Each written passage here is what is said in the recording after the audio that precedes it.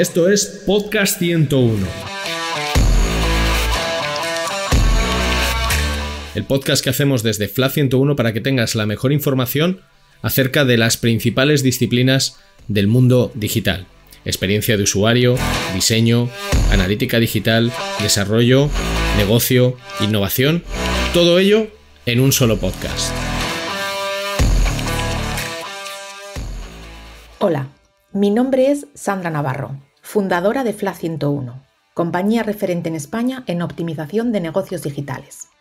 Voy a ser tu anfitriona en todos los episodios de Podcast 101 en los que nos adentraremos en el amplio y a veces misterioso mundo de los negocios digitales. Puedes preguntar, hacer comentarios, sugerir invitados o proponer temáticas escribiéndonos a través de las redes sociales de FLA 101 o directamente a través de mis redes sociales Sandra N. Lecina en Twitter o Instagram o a través de LinkedIn buscando mi nombre, Sandra Navarro.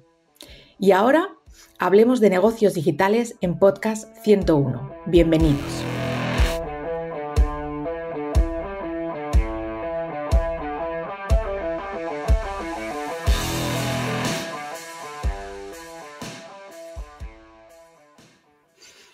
Bienvenidos a la sección de negocios digitales de Podcast 101. Conocí al invitado que tenemos hoy en la cafetería de un ave Madrid-Zaragoza. Para los que viajamos continuamente entre Madrid y Zaragoza, sabemos que lo más aburrido son esos trayectos interminables. Eh, pero sin embargo, este fue diferente, porque lo que yo esperaba ser una monótona vuelta a casa tras un día agotador en Madrid se convirtió en una muy amena conversación en la cafetería hablando de metaverso, NFTs, criptomonedas, eh, realidad aumentada, extendida. Bueno, fue una maravilla de conversación. Héctor, que es nuestro invitado, es CEO y cofundador de Imascono, que es un estudio de tecnologías creativas, especializado en realidad extendida. Héctor, muchísimas gracias por estar hoy conmigo, por haber aceptado esta invitación y encantada de tenerte. Gracias, gracias a vosotros. Eh, como bien dices, nunca sabes lo que te deparará la, cafetería del AVE. sí que es cierto que muchas veces se aprovechan los trayectos para ir trabajando, pero cuando te cruzas con personas con las que pues puedes eh, compartir profesión, puedes compartir comentarios y, como bien dices, tener un, rato divertido, ¿no? Hablando de las aventuras del empresario y, de las nuevas tecnologías, pues yo creo que fue un momento muy chulo, muy ocasional y que todos lo, disfrutamos. Desde luego. Bueno, pues antes de, antes de empezar y meternos en, materia de todas esas cosas que nos tienes que contar, háblanos un segundo de, ti, de tu background profesional y personal, de dónde vienes y cómo has llegado a este punto vital que estás viviendo en Imascono. Bueno, pues aquí nos podemos ir pues muy, muy atrás. Eh, además, esto siempre es una cosa que sí que me gusta contar y que me gusta comentar porque al final conforme van pasando los años y nos vamos haciendo mayores, pues reflexionas más. Y parte de estas reflexiones un poco que voy a contar en esta pregunta en concreto, pues también vienen de la reflexión y la introspección eh, que uno hace ¿no? conforme va pasando el tiempo. Y es cierto que, yo desde que era muy pequeño em, siempre me ha gustado mucho, eh, me ha gustado mucho el mundo del cine, el mundo de los videojuegos, El mundo de las series. Em, siempre he tenido una relación especial ¿no? con, esa parte del mundo audiovisual, con el mundo así también un poco techy, ¿no? de tecnológico. Me gustaban también mucho los legos, de montar y desmontar las cosas, eh, también dibujar.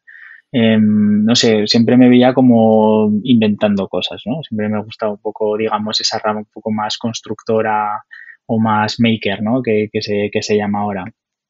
Y claro, eso te das cuenta conforme pasan los años. Y para mí, pues por ejemplo, en películas como Toy Story, eh, películas como Parque Jurásico, que realmente era muy pequeñito porque tenía 4 o 5 años, pues a mí ya me llamaron mucho la atención en, cómo traían algo que no existía de verdad al mundo real a través de los efectos especiales. Y luego como incluso esos efectos especiales o eso que era imaginario lo podías disfrutar de forma interactiva en un videojuego. Entonces yo, yo siempre me tiro, ¿no? Por, por esos primeros años de vida o digamos cuando éramos pequeños que solemos explorar para tratar de entender el por qué acaba haciendo todo esto. Y yo creo que parte de mi profesión actual se debe, digamos, a esos gustos, a esos hobbies y a esa manera de entender, digamos, el mundo visual en, en los primeros años de vida o cuando ya eres un poquito más adolescente, ¿no? Y al final eso, pues bueno, a mí me llevó a, estudiar una ingeniería, em, un poco híbrida también, bueno, una ingeniería en diseño industrial porque me gustaba la parte tanto técnica más ingenieril como la parte más creativa siempre me considero una persona un poco bipolar, ¿no? En ese aspecto, que me gustaba también lo lógico, pero me gustaba mucho también lo creativo, o cómo lo lógico podía dar lugar a lo creativo, ¿no? Cómo la imaginación se podía aplicar. Y, al final, pues bueno, me estuve desarrollando, digamos, en, esas materias y en, lo que sería la carrera de ingeniería, y luego hice un máster en Valencia, también de ingeniería, en diseño industrial, pero ahí yo recuerdo que era el año 2010, justo acababa de salir el iPad y, a mí siempre había algo que me había traído mucho de las pantallas, ¿no? Que eran las interfaces, que se podía desarrollar en las interfaces, como un poco la relación, digamos, con, la máquina, ¿no? Y, estuve descubriendo para el TCM nuevas tecnologías y descubrí la realidad aumentada.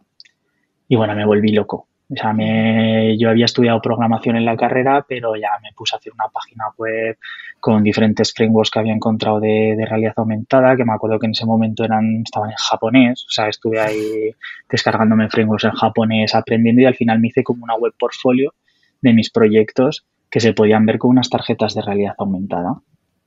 Eh, entonces, yo siempre digo que para mí eso fue un, un punto importante porque me di cuenta de que ese era el futuro de, de, lo que tenía que ver la comunicación con los ordenadores, o yo veía cómo se podían mezclar, digamos, esos dos mundos.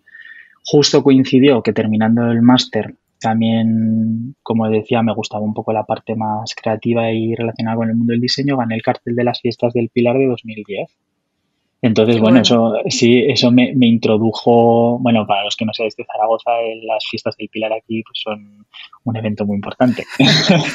y, ganar el cartel es, era en su día, yo creo que ahora sigue siendo también más o menos el premio lo mismo, pero era un premio muy considerable, que eran 3.000 euros y luego aparte que, que te introduce en el mundo profesional ya así fue, ¿no? Entonces, yo digamos con ese proyecto tuve ofertas de, de varios estudios y, ya directamente empecé a trabajar incluso en las aplicaciones del Pilar, que también supusieron un trabajo bastante denso y ya, ya directamente con eso, pues por ejemplo, me hice ya autónomo, ¿no? Me hice autónomo, empecé a trabajar y luego ya también eh, trabajaba en un estudio pues a media jornada. O sea, yo era autónomo y iba pues más o menos de alguna forma pues convalidando mi trabajo.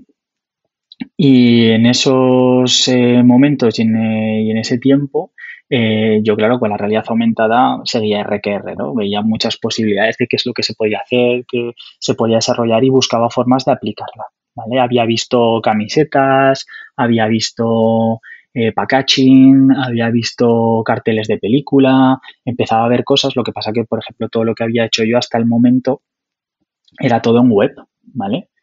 Entonces, bueno, en, justo en esa inquietud, pues conozco a mi socio Pedro, que había empezado con una marca de camisetas y, nos pusieron en común, pues eso, un, compañero, un amigo mío de toda la vida, eh, que ellos habían estudiado juntos diseño de interiores y, nos conocimos y él estaba buscando a alguien para hacer una web y yo, bueno, pues como era autónomo, pues casi casi me lancé a hacer la web, ¿no? Pero cuando lo conocí y vi un poco también lo de las camisetas, dije, pues igual esta es la oportunidad para hacer camisetas de realidad aumentada.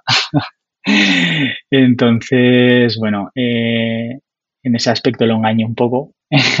Fue como, bueno, le engañé y luego evidentemente nos, nos motivamos y empezamos a tope, ¿no? Y la idea era, pues, entre ambos desarrollar el, lo que serían las primeras camisetas de realidad aumentada en el sector textil, ¿no? Entonces, a partir de ahí, pues eh, empezamos a presentar incluso subvenciones para poder desarrollar el proyecto.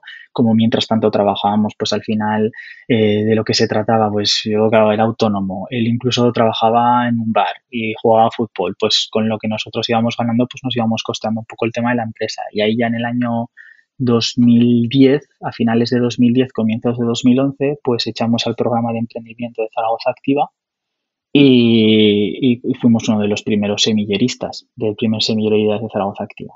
Y bueno, pues a partir de ella, pues, pues todo fue poquito a poco evolucionando, luego pasamos al vivero, luego conseguimos estar en un... Eh, o sea, las camisetas las hicimos con Brosman, que eran unos ilustradores que luego nos pusieron en contacto con, con, con el Festival of de Diseño de Barcelona. Entonces, bueno, todo fue evolucionando, ¿no? Hasta que más o menos eso, por el año 2013, pues ya decidimos dar un giro porque las camisetas habíamos conseguido vender muchas unidades y habíamos vendido prácticamente todo lo que habíamos producido. Pero claro, no era realmente nuestro sector. O sea, el sector textil, yo particularmente, o sea, no lo conocíamos, pues él había empezado un poco con las camisetas, pero no era algo en lo que nos supiésemos mover en ese aspecto, ¿no? Y a partir de ella, pues empezamos con un proyecto educativo Em, que se llama Cronville, que luego explicaré un poquito más.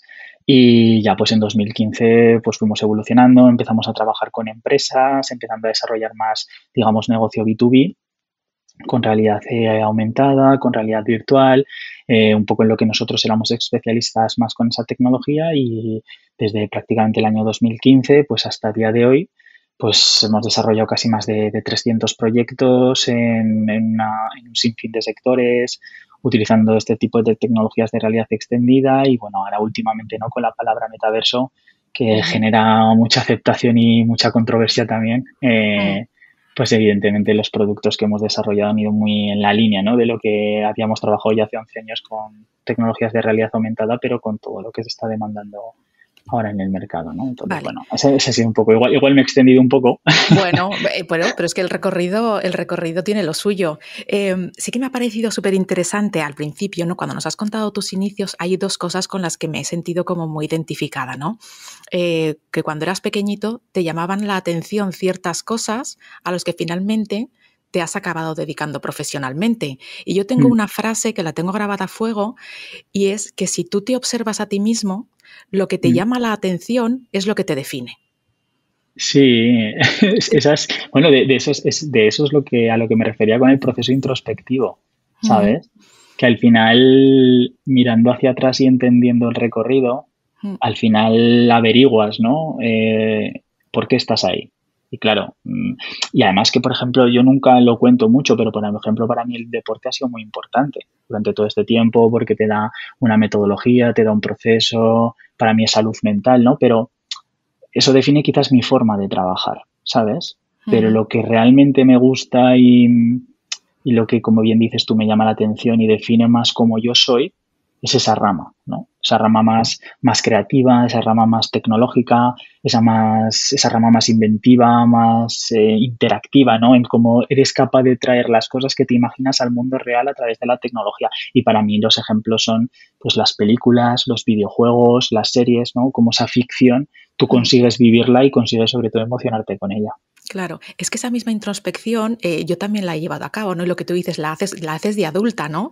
Al final dices, ostras, yo yo estudié esto, yo también hice una ingeniería, pero al final es porque se aproximaba más a las cosas que, te gustaban, ¿no?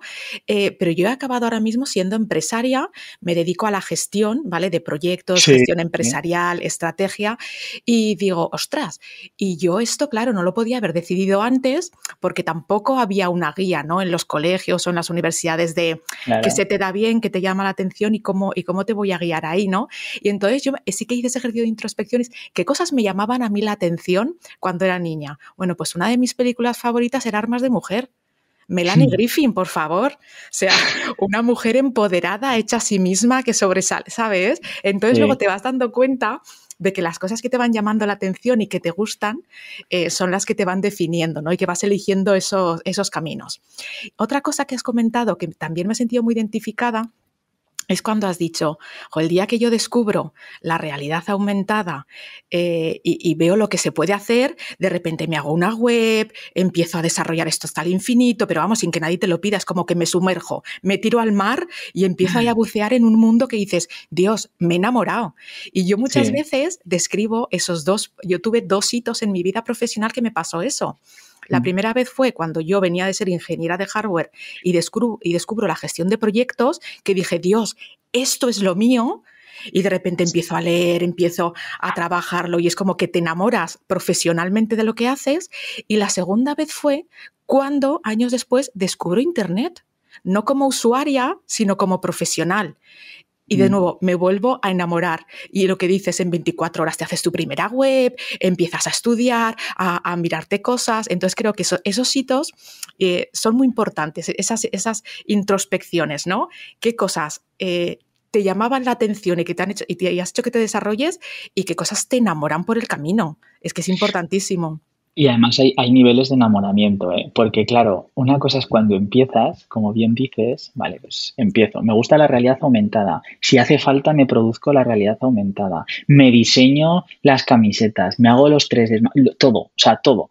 Pero luego ya está, en cuanto ya controlas eso, o por lo menos ya has probado esa faceta, ahora es lo que dices tú, ahora esto cómo lo evoluciono y cómo genero una estrategia y cómo consigo o cómo se consigue tener un equipo que, que, que dé forma a todo esto y cómo gestionas a la gente y cómo de manera empresarial haces que esto crezca, ¿no? Ese, ese, ese también es un, como un level 2, ¿no? Un level 3 de, de, de ese enamoramiento, cómo va evolucionando y que sigues buscando más, pero te das cuenta de que tú por ti mismo estás limitado y que al final, evidentemente, necesitas un equipo que piense igual que tú, que estéis más o menos en, en el mismo elemento, ¿no? Un poco con referencia a la, a la, a la frase de Ken Robinson, al libro de Ken Robinson, que estén un poco en tu misma sintonía para ¡boom! proyectar muchísimo más. Entonces, eso también, siempre dicen que es una actitud, pero yo creo que ese nivel de enamoramiento te lleva a emprender, a ser empresario, a evolucionar el proyecto y a seguir con todo hacia adelante. Totalmente de acuerdo. Ahora pasaremos a hablar de Imascono, de la empresa que ya nos has ido adelantando qué cosas hacéis y nos las vas a contar más en detalle, pero has empezado a decir términos que para algunos oyentes estarán clarísimos, pero para otros seguramente no tanto. Has hablado de realidad virtual, eh, realidad aumentada, no lo hemos mencionado aún creo, pero también puede salir realidad extendida o mixta, metaverso. Entonces, en tus en tus palabras, eh, y ponnoslo fácil a los oyentes, explícanos ¿no? la diferencia entre estos conceptos. Pues mira, muy sencillito, ¿vale? Eh, y además os voy a poner ejemplos con películas, ¿vale? Para ah, que genial, me encanta. Mirad, eh, si vamos de un extremo a otro, ¿vale? Si pensamos en un entorno totalmente virtual, donde te tienes que poner unas gafas totalmente opacas, donde entras en un mundo que es completamente digital, hablamos de realidad virtual, ¿vale? Como si fuese Matrix, ¿vale? Yo me pongo unas gafas, acordaos que en Matrix te conectabas el cable y entrabas ya en el mundo. Pues aquí te pones unas gafas en vez del cable y entras ya en un mundo que es completamente digital. Bueno, con tu ya, avatar, y la serie más reciente, Peripheral, que me está encantando. Sí, sí, sí. Bueno, además de Amazon Prime, sin hacer sí. ningún tipo de publicidad. bueno, esa, esa, esa, ya incluso hay que detenerse un poco a entenderla, ¿eh? porque sí. habla de realidad virtual, futuro, pa pasado, presente. O sea, hay que analizarla un poco porque en un momento determinado, si te pierdes alguna frase, tienes que recapitular. Pero bueno, cierto, sí. Cierto. Es, mm. bueno, y, y, por ejemplo, por Ready Player One, ¿no? que al final es una uh -huh. expresión de realidad virtual y ya más de meta metaverso, ¿vale? Pero bueno, sí, muy eso es realidad, realidad virtual, ¿vale? Me pongo las gafas y entro en un mundo completamente digital, como si fuese un videojuego en primera persona en el que tú estás viendo todo eh, como si estuvieses dentro de, de, esa parte interactiva. Luego tenemos la realidad aumentada, que la realidad aumentada eh, todo el mundo habrá conocido el Pokémon Go, porque todo el mundo lo habrá visto.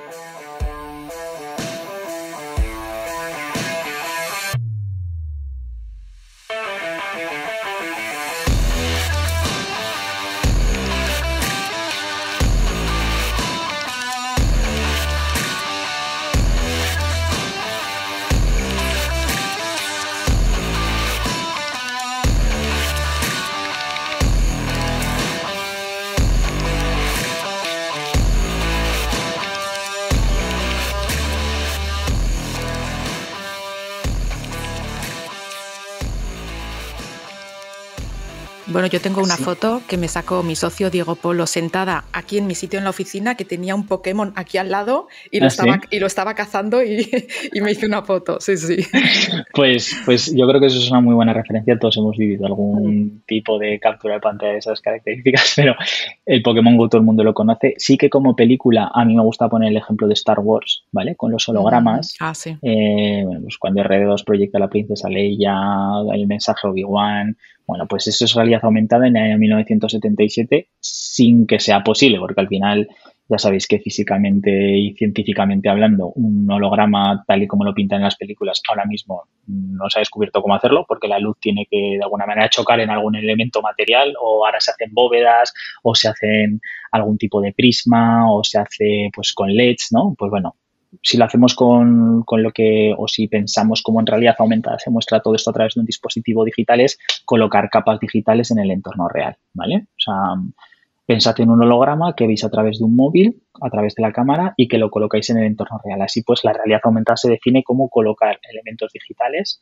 a través de un dispositivo móvil en un entorno real. ¿vale? Y luego ya estaría la realidad mixta, que realmente es como si fuese, pues digamos, un, un conjunto de, tecnologías o básicamente es la evolución de la realidad aumentada, pero de lo que, o como lo podemos definir de una manera mucho más, eh, digamos, peliculera, es pues un poco similar a los hologramas, pero cuando, por ejemplo, Iron Man empieza a tocar pues esos, diferentes hologramas, los empieza a manipular, pues eso sería un poco realidad mixta, que a día de hoy es imposible, pero sí que se define como la interacción entre el mundo real y el mundo virtual y el mundo virtual con el mundo real, es decir, cómo ambos mundos de alguna forma consiguen interactuar pues a través de la tecnología, de inteligencia artificial y de mm, diferentes procesos para que al final exista una interacción entre ambos mundos, ¿no? Eso sería un poco la realidad mixta. Y luego, finalmente, tenemos lo que es la realidad extendida, que es un término no tan académico como el resto, sino que es más comercial y que agrupa todas estas tecnologías. Que si en algún momento alguien habla de realidad extendida, pues se está refiriendo un poco al conjunto de realidad aumentada, virtual y mixta, ¿vale? Y luego ya metaverso, pues que metaverso es realidad virtual o digamos, ya no tanto realidad virtual, pero es un conjunto de mundos virtuales en el que al final un usuario puede estar viajando pues con una identidad. O sea, sigue siendo un concepto de ciencia ficción que se está utilizando, que Meta pues lo ha explotado básicamente en estos últimos en este último año y que al final hace un poco referencia a una novela y sobre todo a la película que ahora visto todo el mundo que es Ready Player One, ¿no? Es la conjunción de los mundos virtuales en el que tú puedes interactuar casi casi como si se tratase de un mundo real. Entonces, digamos que esas son un poco las definiciones que avalan la tecnología que nosotros desarrollamos y, que sobre todo venimos eh, produciendo desde hace ya 11 años. O sea, que el metaverso sería como la máxima expresión de la implantación de la sociabilidad, de la economía dentro de un mundo virtual, ¿no? Sería como... Eso es. Es que al final ahora un metaverso de tal, metaverso del cual, pues es que al final son todo videojuegos y son todo mundos virtuales. Es que el metaverso sería que tú con tu identidad pudieses viajar de manera libre y de manera muy accesible entre los mundos. O sea, digamos, es como un estándar, como si fuese la web el www, ¿no? Pues eso es un poco lo que se está buscando hacer, lo que pasa que aún va a tardar. Y, lo que ha pasado con Meta, ya un poco aquí tratando de hacer la pequeña cuña, es que ellos han intentado vender ese concepto siendo que aún no está desarrollado y que evidentemente es mucho más futurible que actual. Vale, pues entonces volvamos al mundo actual. Después de haber revisado estos conceptos, volvemos al mundo actual y cuéntanos eh, más en detalle lo que hacéis en Imascono y cuéntanoslo también, que lo haces muy bien, con ejemplos de proyectos que hayáis desarrollado y de los que os sintáis especialmente orgullosos. Pues mira, lo voy a hacer así también un poco marketingiano para que la gente entienda qué es lo que desarrollamos eh, actualmente y nosotros siempre hablamos de imaginación aplicada, ¿vale? Como te comentaba al principio también un poco de los orígenes, cómo somos capaces de traer digamos, esas ideas y esos sueños al mundo real a través de la tecnología. Pues eso es lo que nosotros desarrollamos en Imascono y evidentemente utilizando estas tecnologías que hemos estado hablando, ¿no? Estas tecnologías creativas que al final nos permiten crear estas soluciones de vanguardia y no únicamente crearlas y desarrollarlas, sino también idearlas, ¿vale? Innovar sobre la idea que tiene el cliente para poder solucionársela con estas tecnologías.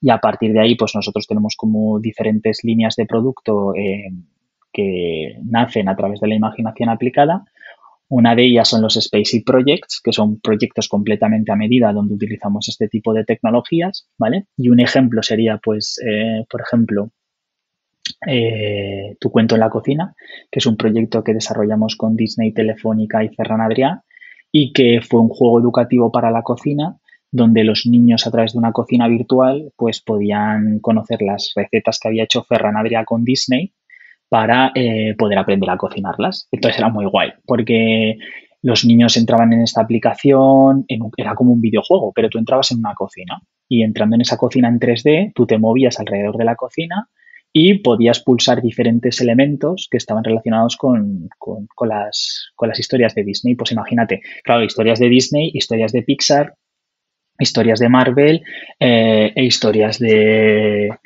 de, Star Wars, ¿vale? Entonces, porque son todas las marcas de, Disney, ¿no? Actuales. Entonces, claro, ibas por una cocina y te encontrabas, pues, el martillo de Thor, la careta de Iron Man, eh, pues los guantes de Mickey. Y cuando pulsabas a cualquiera de esos objetos, se te abría la receta donde veías los elementos que tenías que utilizar y te empezaba a hacer como, digamos, un pase, como si fuese un storyboard de las cosas que tenías que hacer, ¿vale? Paso número uno. Entonces, en el paso número uno podías, ver la receta animada e incluso te podías tomar una fotografía. Es decir, que conforme ibas cumpliendo los pasos de cada una de las fases de, la receta, generabas tu propia historia y cuando la acababas te aparecía un cómic ilustrado con tus fotografías y cómo habías hecho la receta. Incluso tenía puntos de realidad aumentada donde te disfrazabas con la careta de Iron Man, el casco de Thor, eh, bueno, era muy chulo, tenía filtros, entonces al final de las creo que treinta y tantas recetas que había, pues te podías hacer treinta y tantos cómics personalizados.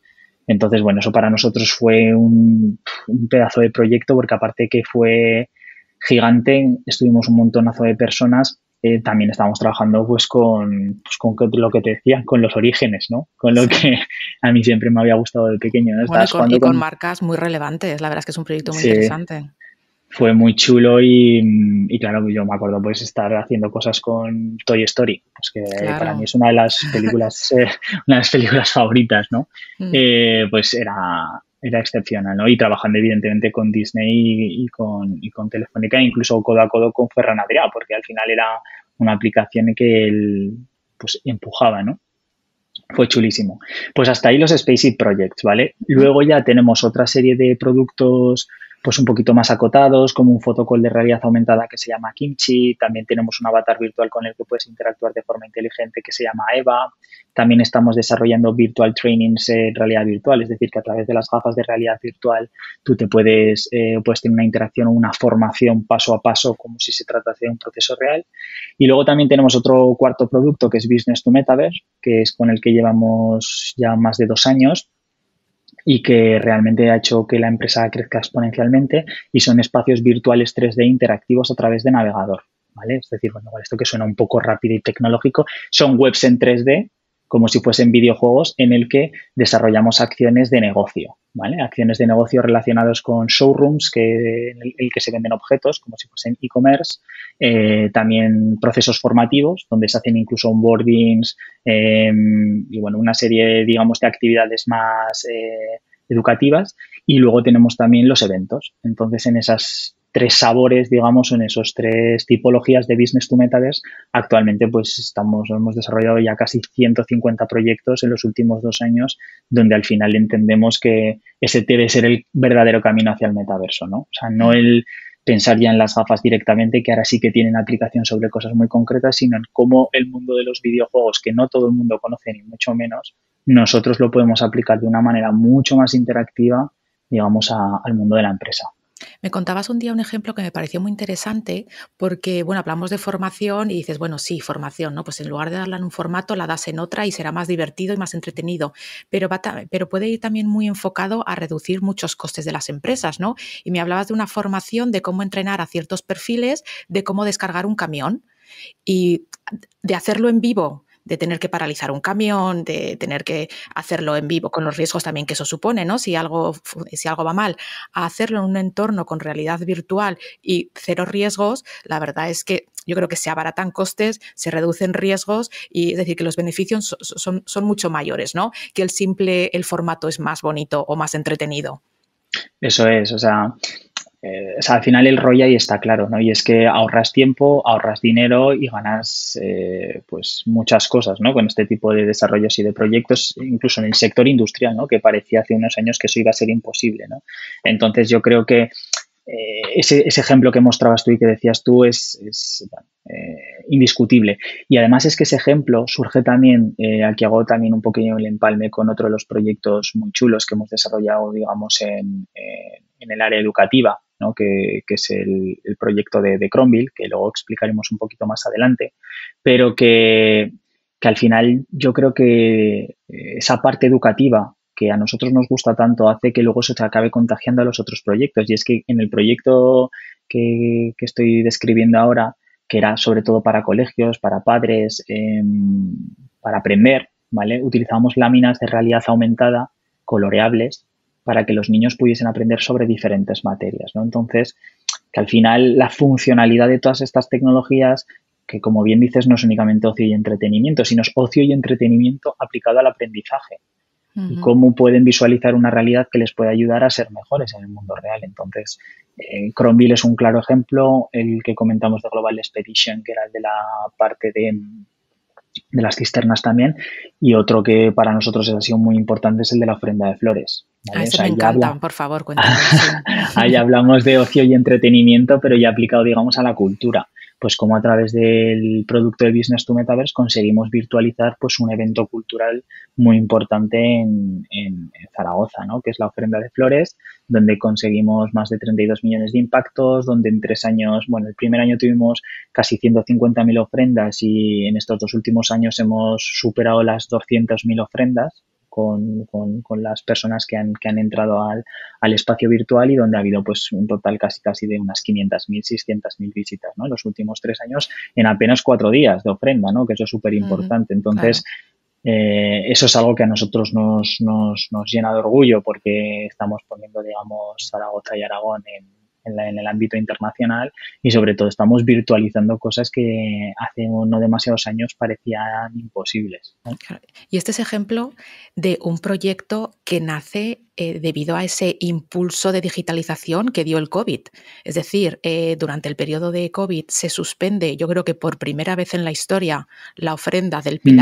De Zaragoza y toda la gente que para ellos era como un ritual anual, es como, ¿y ahora qué? ¿no? Y en ese ahora qué eh, surge ¿no? este proyecto y Imascono dice, pues vamos a hacer una ofrenda de flores a la Virgen del Pilar virtual. Y bueno, y con los números lo has explicado perfectamente, ¿no? Cómo eh, la gente encontró ese huequecito que le faltaba, ese vacío que tenía ese año de no poder ir a hacerle la ofrenda a la Virgen del Pilar, lo hizo en un entorno virtual y e, el salto fue gracias eh, a, esos, a el año de pandemia, ¿no? a esa digitalización acelerada que sufrimos durante ese año. Pero lo que me encanta ver es que no ha disminuido. Es decir, que es algo que ha venido y que se queda, ¿no? Porque toda la gente que no puede venir a Zaragoza, pues ha encontrado también ese huequecito, ¿no? Para, para hacer la ofrenda. Eso, es súper importante porque al final hemos conseguido hibridar la actividad. Evidentemente, yo soy el primero que, aún dedicando a la tecnología, digo que no puedes vivir la experiencia de ninguna otra manera que no sea real. Si es que yo lo pienso igual, pero la tecnología nos ayuda a vivirla, aunque sea de una forma diferente, de forma virtual. Y yo creo que eso es súper importante. De hecho, fijaros, los números de ofrendas fueron el primer año que fue una burrada, porque evidentemente nadie podía hacer la ofrenda eh, y se viralizó una barbaridad en apenas horas, pues fueron casi 150.000. El año pasado hicimos unas 20.000. De hecho, era el primer año que se habría un poquito, pero que no era normal. Y este año, siendo la ofrenda normal, hemos superado las 30.000. O sea, es decir, que han sido mejores números que el año pasado, a pesar de que la ofrenda real ya lucía en su máximo esplendor, ¿no? Entonces, eso es lo bonito de la tecnología, ¿no? Que ayuda, digamos, a, pues a, a, tener una experiencia que igual hay gente que no la puede tener o incluso a digitalizar esa experiencia a través de la web, a vivirla de una manera diferente, pero no a sustituir el mundo real. Correcto. Pues son proyectos, la verdad es que, es que muy interesantes. Eh, vamos a darle una vueltecilla de tuerca y como la gente que habitualmente nos escucha trabaja en negocios digitales, cuéntanos cómo pueden aplicar vuestra tecnología a día de hoy en sus negocios. Pues yo creo que va un poco al hilo de, lo que hemos estado explicando hasta ahora, ¿no? Eh, si hablamos de negocios, sobre todo en la rama, digamos, de formación, en la rama de marketing relacionada con el mundo de los eventos, incluso en la rama más de e-commerce, eh, en el caso de Business to Metaverse es un claro, pues es una clara apuesta. De hecho, es, pues bueno, si ya estamos acostumbrados a trabajar en un entorno 3D a través de la, un entorno 2D en la web, ¿no? Algo plano que, realmente no es natural para nosotros, porque no íbamos a trabajar en un entorno 3D donde todo se pueda comprender de una manera volumétrica mucho mejor, ¿no? Pues imaginaros que el siguiente paso va a ser que las webs ya no directamente van a ser interfaces planas, sino que vamos a empezar a interactuar ya no digo únicamente como si fuésemos avatares, pero sí como si fuesen más eh, entornos reales, ¿no? Para que se parezca más a la realidad. Eso es fácilmente aplicando, aplicado al mundo del negocio. Una empresa que quiera hacer un evento, una empresa que quiera hacer un onboarding o una formación, una empresa que quiera tener una actividad diferente, incluso una junta de accionistas, que hemos hecho juntas de accionistas en con Business to Metaverse en esta parte interactiva es perfecto. El tema de, learning, de procesos formativos, como os comentaba, el tema de e-commerce, porque tú si estás vendiendo te dedicas al retail, ¿por qué no hacer esa tienda en 3D o hacer una tienda que esté acoplada, digamos, al diseño de tu marca para que el cliente pueda experimentar mm, experiencias interactivas dentro de, esa web, ¿no? Básicamente es como si aplicásemos el mundo de los videojuegos a las actividades profesionales, ¿vale? Así que en todos esos sectores y, digamos, en todos esos tipos de funcionalidades es, un hecho. También realidad virtual, ¿vale? Para el tema del training si queremos algo un poco más inmersivo, no únicamente en web, que al final lo hacemos mucho en web porque es muy accesible para todo el mundo, no todo el mundo tiene gafas, web tenemos todo el mundo y a golpe de URL llegas directamente sin tener que descargarte ninguna aplicación, pero si quieres algo un poquito más inmersivo, las gafas también son son impresionantes a día de hoy para obtener algo un poco más consistente a nivel experiencial. Entonces los trainings formativos a día de hoy con el virtual training pues son, son, son bueno, especiales, ¿no? En el momento que te los pruebas, en el momento que los desarrollas y sobre todo en el momento que los ejecutas, ¿no? Porque aprendes mientras estás, o sea, aprender haciendo, ¿no? Aprender mientras juegas. Entonces, bueno, el learning by doing, ¿no? Que dicen. Y luego la realidad aumentada porque bueno, es una tecnología que, te permite abrir el mundo real a través del mundo digital. ¿Vale? Pues experiencias en la calle, street marketing, que ahora dentro de poco lanzaremos un proyecto muy chulo donde se puede descubrir la ciudad pues a través de la realidad aumentada y bueno, y la realidad mixta que sobre todo está por llegar que, que nos traerá muchas sorpresas, una nueva forma de interactuar con el mundo.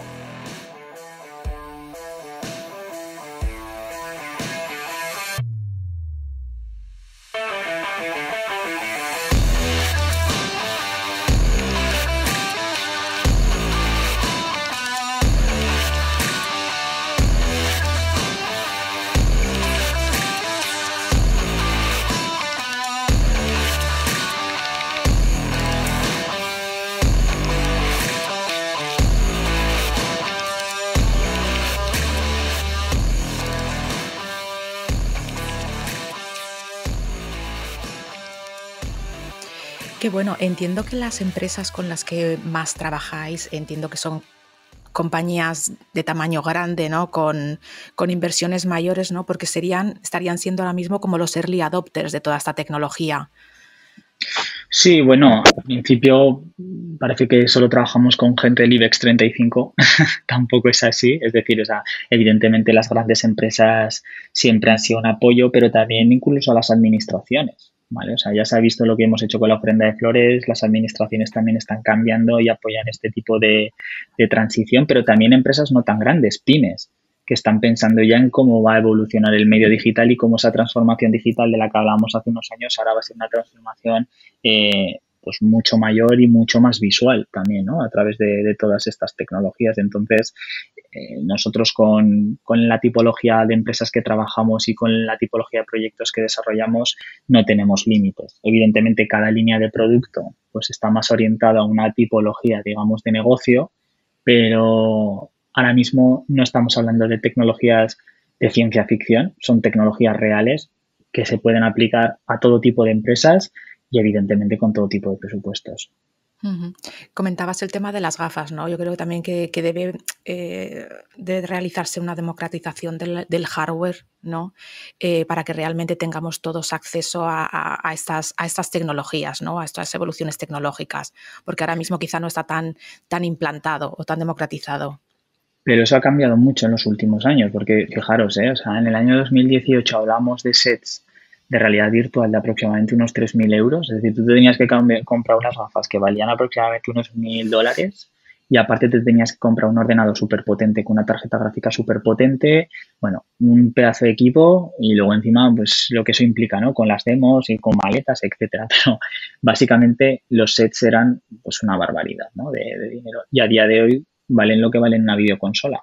Estamos hablando de unos 400 euros. Ahora creo que habían subido un poquito por la alta demanda pero es que ya hay 30 millones de gafas rulando por el mundo. Entonces, que esto va a ir a más, que esto se va a ir consolidando, que llegará un momento en el que seguro que tenemos unas gafas en nuestro escritorio para poder desarrollar mejor nuestra actividad profesional, que tendremos unas gafas para poder descubrir el mundo de una manera diferente, es decir, en vez de móvil ir mirando la pantalla y buscando en Internet todo, será el mundo el que nos devuelva la información, ¿vale? Que eso sí que lo hablaremos un poquito más adelante, ¿no? De cara al futuro, pero esa es un poco la idea y, evidentemente la democratización en temas de realidad virtual ya está, o sea, ya ha llegado a la masa, digámoslo así. Lo que pasa que sí que es cierto que son usuarios más gamers o que están más relacionados con el mundo del videojuego. Pero todo eso irá evolucionando y será sucediendo conforme vayan pasando las generaciones, se democratice aún más y bueno, la tecnología sea más comprendida de una manera global. Claro, eso es lo que te iba a decir ahora, ¿no? Que esa es la generación Z la que está ahora mismo utilizando esos dispositivos de una manera natural.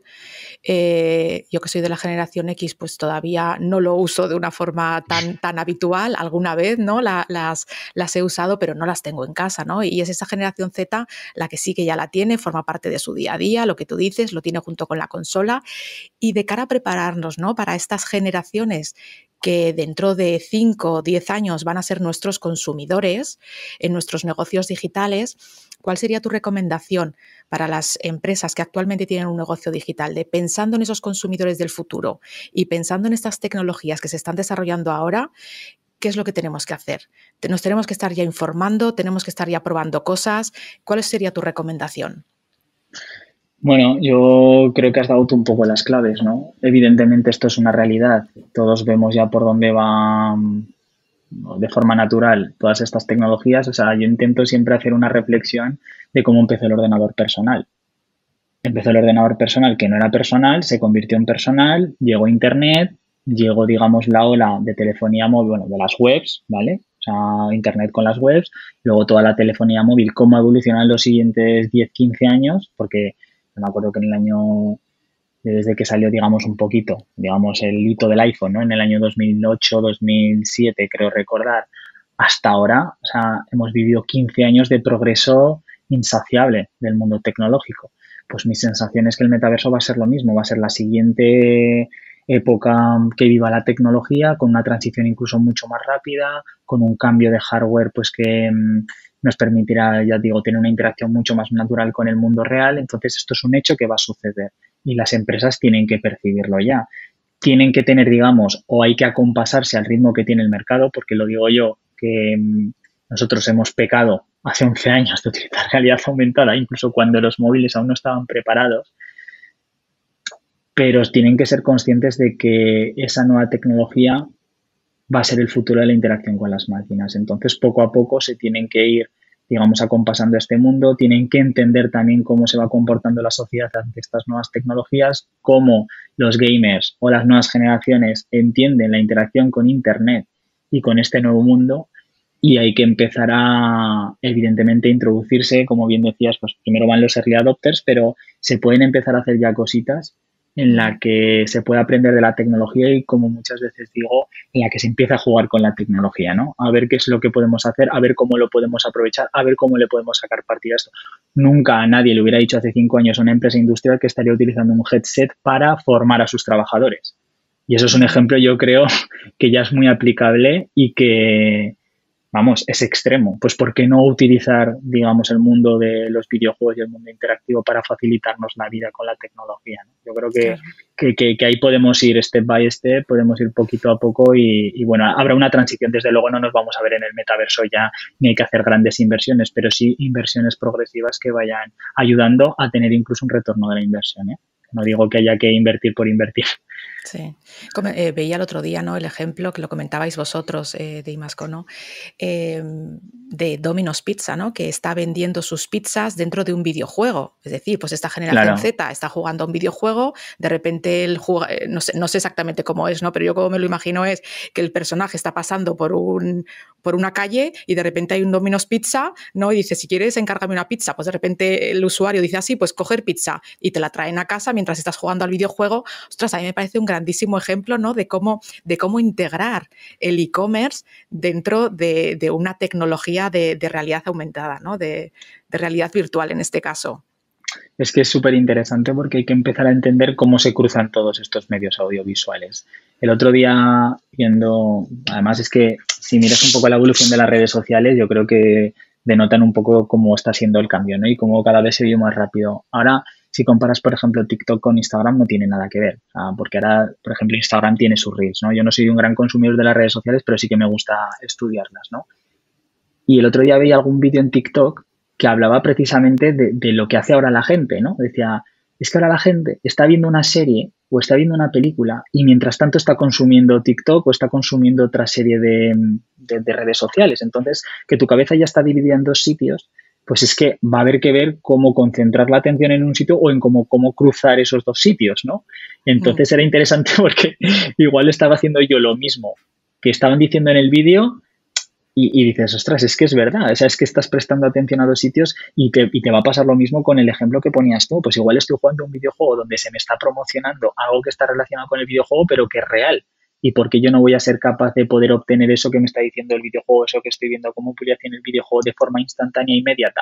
Si Amazon te lo trae en un día, ¿no? O si es comida, te lo pueden traer en menos de una hora. Pues yo creo que, que parte de, de, todas estas tecnologías nos van a permitir ese tipo de cosas, ¿no? Yo, yo ya te digo que mi apuesta personal siempre ha sido más por la realidad aumentada, ¿no? Porque si tú le puedes extraer esa misma información y puedes tener esa misma rapidez sobre el entorno real, va a ser mucho más nutritivo para todo el mundo. Que tú obtengas información a través de unas gafas como si Google eh, fuese observando la realidad, nos va a ayudar más que si realmente nos metemos en un entorno virtual constantemente y tratamos de traer el mundo real al mundo virtual. ¿no? Yo soy más de estar en el mundo real y traer al mundo real las cosas del mundo digital. Entonces, bueno. Me gusta esa visión. Esa, esa sería, esta era una pregunta que tenía para ti, ¿no? ¿Cómo te imaginas el futuro dentro de 10, 15 años con respecto a estas tecnologías? ¿Cómo las estaremos usando? Pues es que el otro día, además, eh, Tim, Cook, Tim Cook le pegó un buen palete ¿no? a, a Facebook, bueno, a Meta con, con esto y digo, yo es que no voy a vender metaverso a, las personas o a mis clientes que no entienden lo que es metaverso, ¿no? Y menos con una palabra que os habéis asociado vosotros. Y es que es cierto, y ellos, eh, yo confío, ¿no? En que esperarán en el momento oportuno para, para lanzar unas gafas que estén conectados a, nuestro teléfono móvil y que al final nos permitan, como te decía, descubrir, ¿no? Pero por, que, primero sean las gafas, luego probablemente vengan unas lentillas y, al final un poco la visión que tengo de todo esto es la de la, que habla ¿no? del hombre aumentado, que además pues incluso en, la consultora Gartner, ¿no? que, que elaboran la curva esta eh, de tendencias tecnológicas y de cómo viven, cómo mueren y, cómo se asientan en el mercado, pues hablan ya de, de, eso, ¿no? del hombre aumentado como digamos eh, a través de la tecnología nosotros seremos capaces de, poder extraer información del mundo de una manera más sencilla. Yo lo veo más así, más que que nos encerremos en una habitación, estemos jugando a ser otras personas, que también sucederá, ¿eh?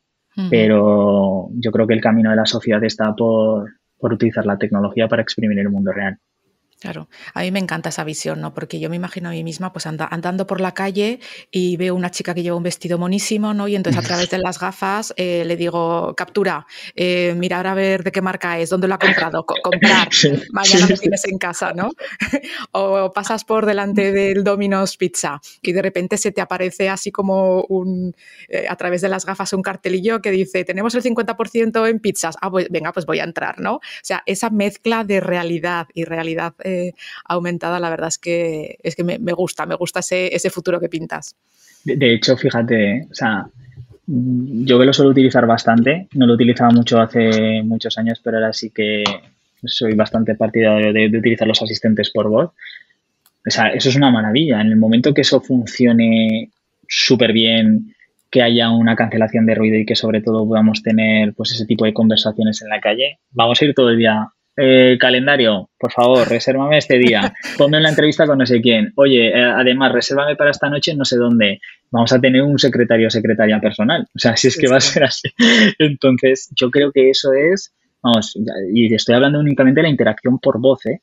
pero en el momento que pasemos al plano visual con estas tecnologías, vamos, yo estoy seguro de que, de que todo, bueno, en ciertos aspectos es posible que nos haga vivir más rápido, porque es así, pero si somos capaces de utilizarlo de una forma adecuada puede potenciar al ser humano una barbaridad. Eh, me decías un día, y me apunté la frase que me gustó mucho, que en realidad ahora con respecto a la realidad virtual, a la realidad aumentada, al metaverso, estamos en el 1995 de Internet. Y esa frase me gustó muchísimo, ¿no?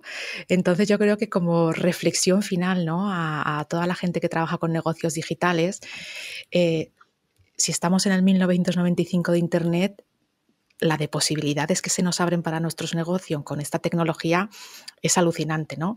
Entonces, no sé si tienes alguna reflexión eh, final o recomendación que quieras lanzar al respecto.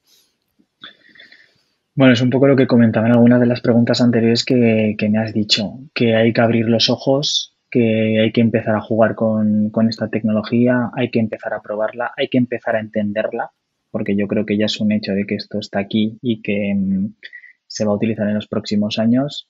Em, y que sobre todo hay una cosa muy importante, porque al final con todos estos cambios tecnológicos, porque claro, estamos hablando de realidad aumentada, realidad virtual, pero ahora cruzarlo con blockchain, ahora cruzarlo con inteligencia artificial, cruzarlo con otra serie de tecnologías, parece aquí que se va a generar la Skynet, ¿no? De Terminator, que parece que la inteligencia artificial acabará con nosotros, ¿no?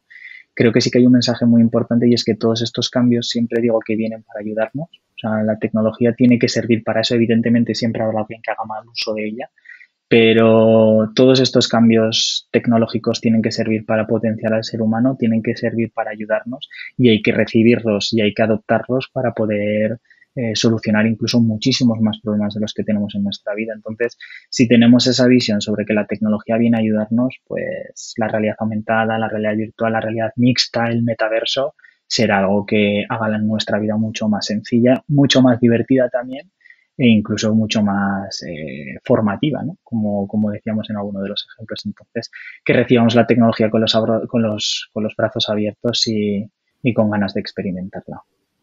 Muy bien. Bueno, pues vamos a aprovechar los últimos minutillos del podcast, ya sabes, para hacerte una pregunta comprometida.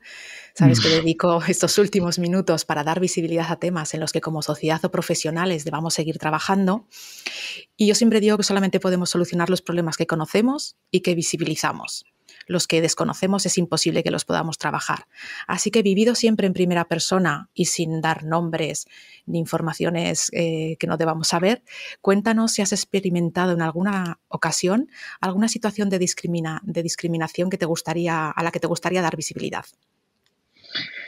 Bueno, yo creo que esto lo hablamos en su día, ¿no? es que, claro, si, si nos conoces a nosotros y en un entorno cercano, pues ya has oído hablar de nosotros, pues te parece algo normal, ¿no? Pero en los entornos empresariales ver a gente con zapatillas, ver a gente con, yo qué sé, eh, pues vestida a la moda, pero no con traje, me explico, o con corbata, o yendo con zapatillas de estar por casa o con chanclas en, en el espacio de trabajo en el que tú, yo he ido hasta descalzo, ¿no?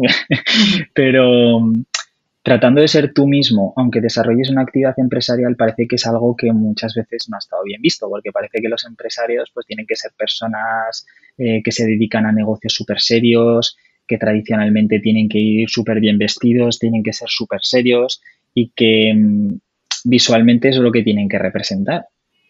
Entonces, bueno, yo en muchísimas ocasiones, pues al final que ya no soy ningún, o sea, me refiero que no voy mal vestido ni lo que no eh, quizás es eh, como iría un banquero, me explico que no voy con traje, pues al final en muchas ocasiones el prejuicio de a dónde van estos chavales con, con esas pintas o a dónde van esos chavales eh, en zapatillas o a dónde van esos chavales con, con esas formas de, de, vestir o incluso pues vendiendo esas tecnologías, ¿sabes? Pues es, es algo con lo que te has podido sentir yo para nada, ¿eh? Pero sí que es cierto mm, que, esos prejuicios muchas veces que se hacen sobre, sobre ese tipo de, mm, de, vestimentas o sobre la forma de ser que tiene uno, pues, pues yo creo que no es adecuado ya no únicamente para la persona que puede estar recibiendo, digamos, esa, entre comillas, no sé, daño verbal, ¿no?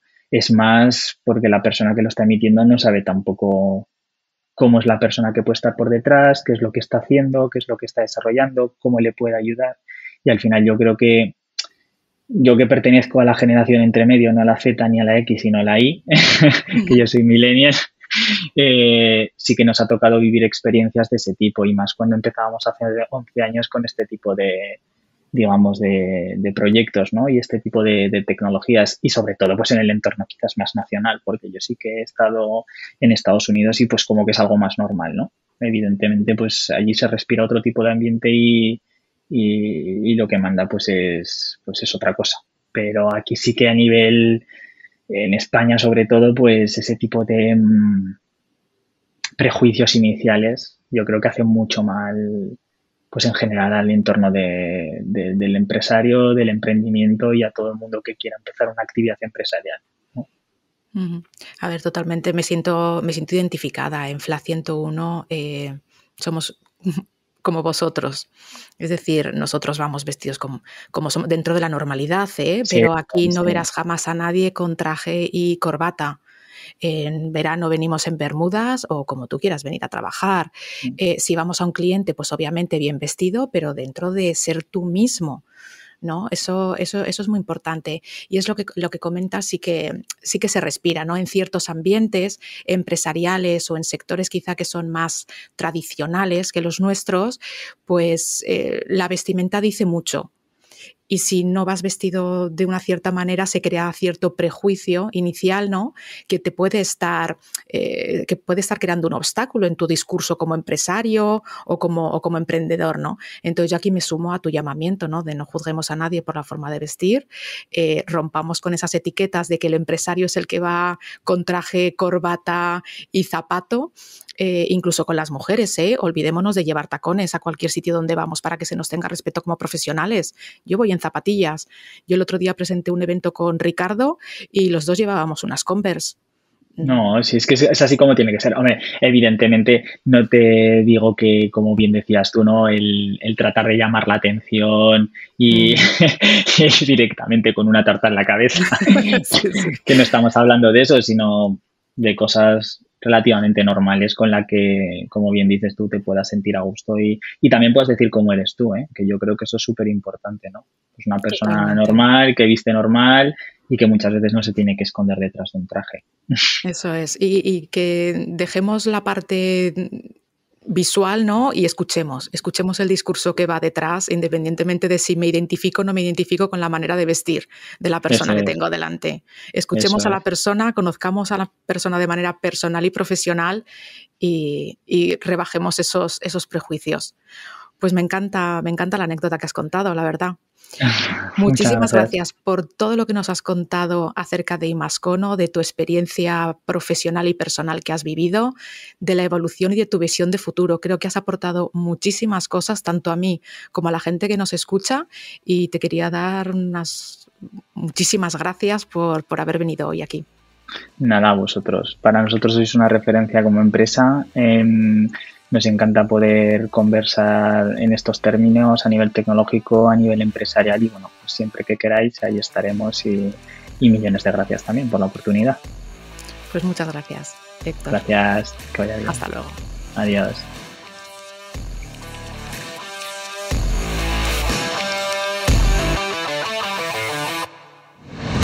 Esto es Podcast 101. Hilltone. Hilltone.